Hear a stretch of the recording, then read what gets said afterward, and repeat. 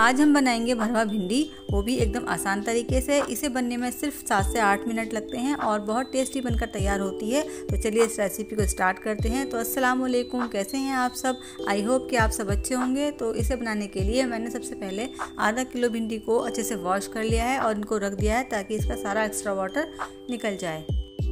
जब इनका सारा पानी निकल जाएगा, तब हम इसका आगे का और पीछे के पार्ट को कट कर लेंगे। इस तरीके से भिंडी वैसे तो बहुत टेस्टी बनकर तैयार होती हैं, लेकिन अगर इनको कुछ और नए तरीके से बनाया जाए तो ये बहुत टेस्टी बनकर तैयार होती हैं। तो भिंडियों को दोनों साइड से कट करने के बाद हम भिंडी को लेंगे और उसमें बीच में एक कट लगाएँगे, जिसमें कि हम इसमें मसाला भरेंगे।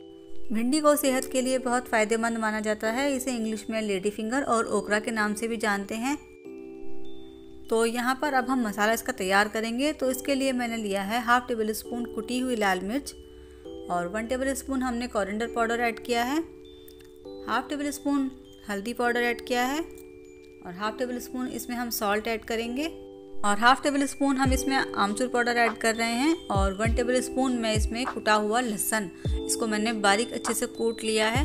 इसको ऐड करेंगे। और अब लास्ट में हम इसमें two tablespoon oil add कर देंगे और इनको अच्छे से मिक्स कर लेंगे। अगर आपका मसाला अच्छे से चिपके ना तो इसमें आप वन टेबल स्पून ऑयल को और ऐड कर दीजिए और इन सबको अच्छे से मिक्स कर लीजिए। यहाँ पर हमारा मसाला अच्छे से मिक्स हो गया है। अब हम लेंगे भिंडी और जो हमने इसमें कट लगाया है, उसमें इस मसाले को अच्छे से फिल कर देंगे, भर देंगे। और मसाले को भिंडी में भरने के बाद हम इसको हल्का सा प्रेस कर देंगे, जिससे कि मसाला बाहर ना निकले और इसको प्रेस करना बहुत ज़रूरी है। और इस तरीके से हम सारी भिंडियों को तैयार कर लेंगे। भिंडी में विटामिन, मिनरल्स, कैल्शियम जैसे पोषक तत्व होते हैं जो हमारे शरीर की कई समस्याओं को दूर करने में फ़ायदा करते हैं, जैसे कि डायबिटीज़ में ये बहुत फ़ायदा करती है। वेट लॉस में पाचन क्रिया को ठीक करने में इम्यूनिटी स्ट्रॉन्ग करने में भिंडी काफ़ी मददगार होती हैं और साथ ही साथ स्किन को भी ठीक रखने में काफ़ी मदद करती हैं। अब हम लेंगे एक पैन में दो बड़े चम्मच ऑयल और ऑयल को अच्छे से गर्म कर लेंगे जिससे कि इसकी स्मेल निकल जाए। अच्छे से गर्म होने के बाद हम इसमें ऐड करेंगे हाफ़ टेबल स्पून ज़ीरा। ज़ीरे को हम हल्का सा क्रैकल करेंगे और इसमें तीन से चार पिंच हम हल्दी को ऐड कर देंगे। इसके बाद हम इसमें जो हमारी भरवा भिंडी है, उनको ऐड कर देंगे। अब हम भिंडियों को अच्छे से मिक्स कर लेंगे, लेकिन मिक्स करते टाइम हमें एक बात का ध्यान रखना है कि भिंडियों को हल्के हाथों से चलाना है। अगर हम इनको थोड़ा जल्दी जल्दी चलाएँगे तो इस पर जो हमने मसाला भरा है, वो सब निकल जाएगा। अब हम भिंडी को पाँच से छः मिनट के लिए लो टू मीडियम फ्लेम पर कवर करके रख देंगे और पाँच से छः मिनट हो चुके हैं पाँच से छः मिनट बाद हम भिंडी को दूसरी साइड से पलट देंगे हल्के हाथों से, जिससे कि दूसरी साइड से भी कुक हो जाए।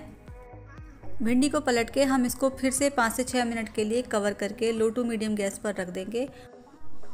पाँच से छः मिनट हो चुके हैं और ये देखिए हमारी भिंडी भी एकदम बनकर तैयार हो चुकी हैं, एकदम मज़ेदार लजी और इन्हें बनने में भी टाइम नहीं लगता, झटपट ये बनकर तैयार हो जाती हैं। और इनके टेस्ट की तो मैं आपसे क्या कहूँ, आप एक बार ट्राई कीजिएगा और उसके बाद मुझे कमेंट कीजिएगा कि आपको मेरी रेसिपी कैसी लगी।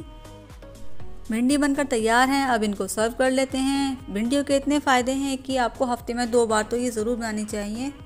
रेसिपी को ज़रूर ट्राई कीजिएगा। बहुत सिंपल सी रेसिपी है। आपको मेरी वीडियो कैसी लगी, अगर अच्छी लगी हो तो प्लीज़ वीडियो को लाइक कीजिए और चैनल पर नए आए हैं तो सब्सक्राइब करके जाइएगा। साथ ही बेल आइकन प्रेस कीजिए, जिससे कि मेरी सारी वीडियोज़ की नोटिफिकेशन आप तक जल्द पहुँच जाए अब मैं मिलती हूँ आपको अपनी नई रेसिपी के साथ। तब तक रखिए अपना ख्याल। Take care. बाय। अल्लाह हाफिज़।